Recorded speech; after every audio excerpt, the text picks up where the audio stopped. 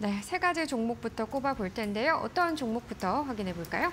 네, 오늘 중대형주 중에서 가장 좀 낙폭이 가장 심한 OCI를 좀 봐, 보겠습니다. 네, 계속 네. 빠지네요, OCI. 네, 오늘 뭐 장중에 한 10% 이상도 빠졌다가 지금 음. 8%대 역시 어, 쉽게 이제 그 하락폭을 만회를 못하고 있는 상황인데 일단 뭐 국제유가라든지 그리고 국제유가의 하락에 대한 부분으로 신재생에너지 종목들 전반적으로 좀, 좀 하락세를 보여주고 있는 예. 상황이 이어지고 있고요.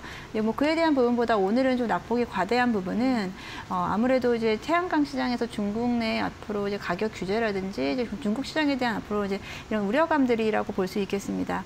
어, 태양광 시장의 대부분의 이제 어, value chain에서의 대부분 기업들이 이제 중국 업체들이 다 장악을 하고 있고요. 뭐 그 중에서 거의 뭐이 어, 폴리 폴리실리콘 쪽에 대해서는 대부분의 업체들이 장악하고 있고 거기서 비중국권의 업체들은 사실 10위권에 들어오는 업체들이 어, 그리 많지 않습니다. 이제 예. 그 중에 이제 OCI가 좀 포함되어 있고요. 그리고 나머지 이제 value chain 밑 어, value chain 단에서 봤을 때뭐 웨이퍼라든지 잉곳 그리고 뭐 어, 모듈 같은 이런 업체들까지 다 전반적으로 본다면 중국 업체가 대부분을 다 장악하고 있다라고 볼 수 있겠고 그렇기 때문에 중국의 이제 가격 경쟁력이라든지 이런 부분으로 사실 좀 밀고 나온다면 다른 업체들이 어, 사실 좀 경쟁력을 좀 상실하는 분위기다라고 볼 수 있겠습니다.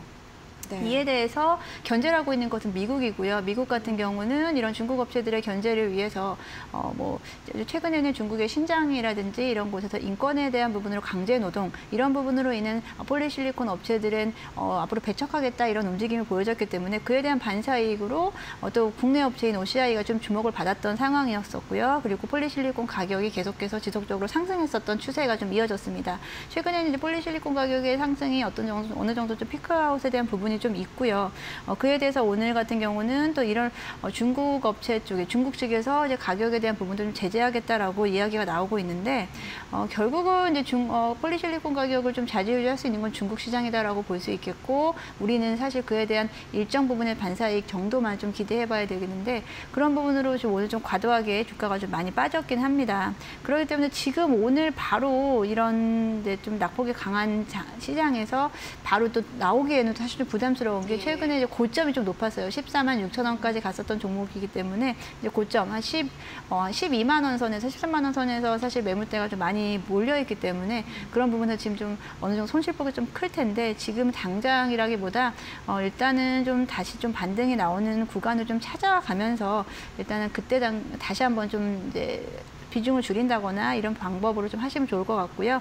어, 지금은 일단 여러 가지 좀 악재들이 좀 나오긴 했지만 지금은 잠깐 버티시는 게 좋지 않을까라고 생각하고 있습니다.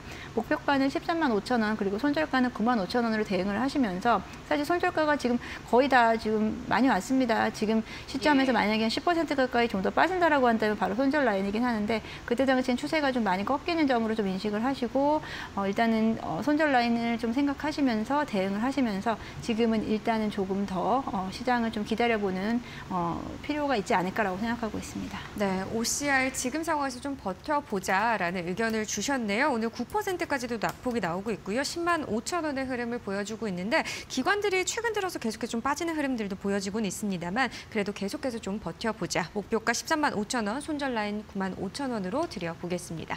자, 계속해서 두 번째 종목으로 넘어가겠습니다.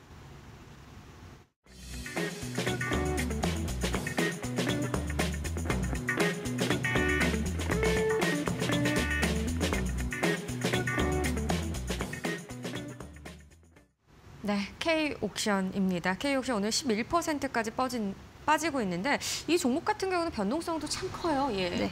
어, K옥션 같은 경우에는 오늘 이슈가 있었던 부분은 6개월의 보호해수 물량 해제에 대한 부분이 어, 이 하락세를 좀 부추겼다라고 볼 수 있겠고 K옥션은 일단은 뭐 올해 1월 28일에 신규 상장을 했습니다. 신규 상장 후에 지금 6개월 차 되는 날이기 때문에 그에 대한 보호해수 물량 해제에 대한 부분으로 어, 아무래도 좀 급락하는 부분이 있겠고 최근에는 또 무상증자 이슈라든지 무상증자로 인한 권리락으로 인해서 말씀하신 대로 주가의 변동성이 지금 큰 종목으로 좀 주목이 되고 있습니다.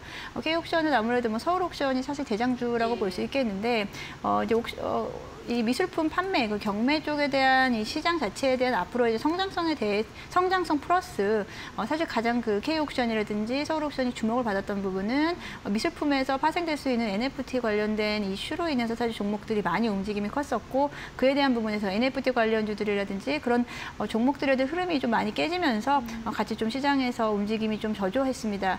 어, 해당 해당 K K 옥션 같은 경우에는 개별 이슈로 인해서 사실 변동폭을 좀 키우면서 가고는 있 습니다만 오늘은 일단은 물량 해제에 대한 부분이 좀 부담스럽다라는 부분으로 생각할 수 있겠고요. 하지만 뭐 실적이라든지 앞으로 미술품 시장에 대한 앞으로의 성장 가능성에 대한 부분은 어, 사실 살아 있기 때문에 어, 오늘 낙폭에 대해서 좀 바로 대응을 하시기보다는 마찬가지로 일단 손절 라인을 좀 잘 잡으시면서 일단 좀 지켜보시면서 다시 한번 또 움직임이 좀 나타날 때 뭐 최근에는 어, 사실 이제 NFT 관련된 종목들이 많이 좀 움직임이 좀 어, 쉬어가는 부분이 있겠지만 다시 또 이에 대한 부분보다 뭐 메타버스라든지 다 최근에는 다시 한번 또 어, 가상화폐 관련된 움직임이 어, 좀 강하게 나타날 수도 있기 때문에 그런 좀 시기를 좀 보시면서 일단은 지금은 좀 어, 버텨도 되는 구간으로 볼 수 있겠고요. 목표가는 만 원, 그리고 손절가는 8천 원으로 제시해드리겠습니다. 네, 뭐 한 증권가에서는 K옥션 하반기 대형 이벤트를 좀 기다리면서 숨고르게 장세를 가져가고 있다 이런 리포트도 나와 있습니다. 하반기 아무래도 이제 키아프가 또 남아 있다 보니까 이런 부분들 이벤트를 좀 참고하시면서 옥션도 같이 보시면 될 것 같네요.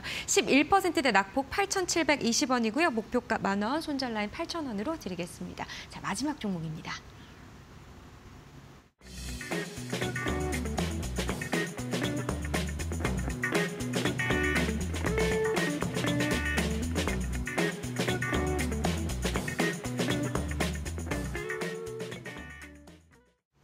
네, 루닛이 올라왔네요. 오늘장 이 종목은 좀 어떻게 분석을 해봐야 될까요? 모멘텀이 어떻습니까? 어, 사실 생소하신 분들이 많을 거예요. 해당 예. 종목 자체가 어, 지난 목요일 날 상장을 한 신규 상장 종목입니다. 어, 최근에 이제 어떤 약세장 속에서 신규 상장 종목들의 움직임이 변동성을 키워가면서 사실 특별한 흐름 없이 어, 특별한 어떤 모멘텀이라든지 스토리 없이 움직임이 좀 강해요. 어, 루닛 역시도 마찬가지인 종목이라고 볼 수 있겠고 루닛 어, 루닛 같은 경우는 뭐 사실 뭐 많이 이렇게 노출된 기업이 아니에요. 뭐, 어, 어, 뭐, deep learning 기반으로 AI 암 진단, 뭐, 치료 솔루션을 제공한다. 어, 바이오 쪽에 관련된 솔루션 업체라고 볼 수 있겠는데, 어, 뭐, 최근에는 뭐, 매, 매출액 단이라든지 사실, 어, 수요 예측, 기관들의 수요 예측에서 사실 많이 저조한 기업이었습니다. 그럼에도 불구하고, 어, 차- 상장 후에는 어, 장, 어, 장중 변동성, 일 변동성을 키우면서 좀 거래가 이루어졌고, 어, 이틀 연속으로 그래도 강- 어느 정도는 좀 어, 강세를 보이다가 오늘은 좀 어, 쫙 빠지는 모습. 오늘 하루 중에도 계속해서 변동성을 키워가고 있습니다. 이 종목을 지금 특별히 말씀을 드리는 건 이 종목에 대한 분석이라기보다 어, 이 최근에 신규 종목, 신규 상장 종목에 대한 어떤 좀 어, 어떻게 보면은 어, 정확한 어떤 어, 기업에 대한 분석이라든지 기업에 대한 내용과는 별로 상관없이 어, 시장에서 수급으로만 지금 움직이는 종목들이 많기 때문에 어, 이렇게 좀 어, 이런 종목들 특히나 어, 지금 현재 루닛 같은 경우는 어, 매출액은 조금씩 늘 수는 있겠지만 어, 손실폭은 역시나 또 확대되고 있는 상황이고요. 어, 계속해서 어, 사실 지금도 적자 상태의 기업이기 때문에 이런 종목으로 그좀 길게 가져가시는 건 위험하다라고 생각하고 있고요. 단기적으로 변동성을 이용한 트레이딩은 가능하지만 어, 일정 부분 또 어, 주가의 어떤 적정 주가 수준이 형성되기 전까지는 어떤 이 부분에 대해 적정의 투자는 좀 지양하셨으면 좋겠다라는 생각으로 루닛 어, 신규 상장 종목 대표적인 종목으로 좀 가지고 와봤습니다. 네, 사실 IPO 시장이 예전 같지 않은 것도 맞고 그렇기 때문에 IPO 시장 안에서도 종목을 보실 때 어떠한 모멘텀과 기술력을 가지고 있는지가 사실 되게 중요한 포인트가 될것 같은데 그런 의미에서 지금은 일단 수급적으로 움직임을 가져가니까 이런 부분을 좀 봐야 된다 이런 말씀이신 것 같네요.